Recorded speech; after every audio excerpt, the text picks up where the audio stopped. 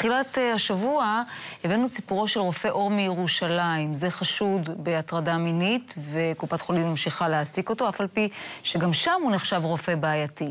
היום מביא כתבי ענייני משטרה בתל אביב, רום ליאור, עדות נוספת שמעידה לכאורה על התנהגות לא הולמת מצידו ועל טיפול לקוי בעניינו מצד קופת חולים.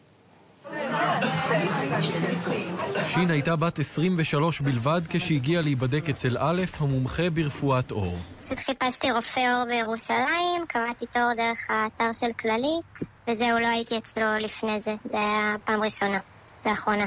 היא נכנסה לחדר הרופא, הורידה את בגדיה העליונים לבקשתו לצורך הבדיקה, אבל אז היא מספרת, התנהגותו השתנתה, והוא נהיה אגרסיבי הרבה יותר. אז הוא אומר לי שמה שעשיתי זה החפצה, זה שהורדתי את הבגדים, זה החפצה, ושזה מוריד מהערך שלי, ושאני צריכה להבין שגם לו לא יש רצונות, ושזה קשה לו, זה בעייתי לו לשלוט בזה. כשהוא אומר לי להסתובב, אז הוא אומר, אני עושה לך וג'י, בסדר?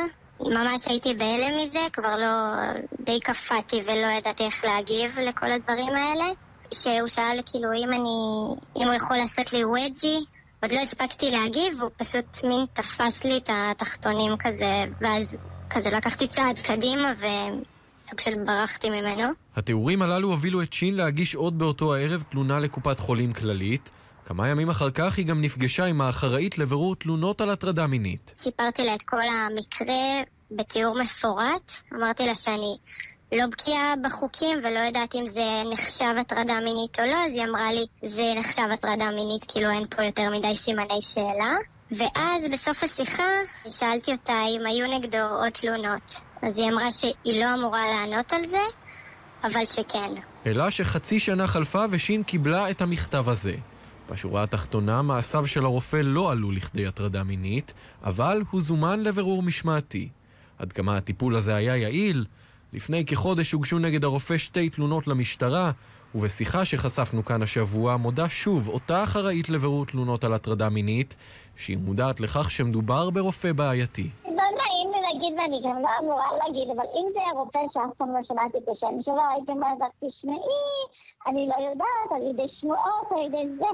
לצערי, אנחנו יודעים שיש פה בעיה. אותו רופא מועסק היום גם בקופת חולים מאוחדת, וגם שם הוגשה נגדו לפני מספר שנים תלונה, אך מאז אומרים שם לא הוגשה תלונה נוספת, ובהיעדר תלונה לא ניתן לנקוט צעדים נגד אדם.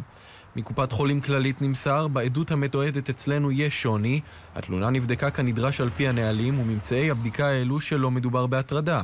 תלונות בעבר בדבר יחס הרופא והתנהלותו טופלו באמצעים המשמעתיים המתאימים, ועניינו נתון גם כעת בבדיקה.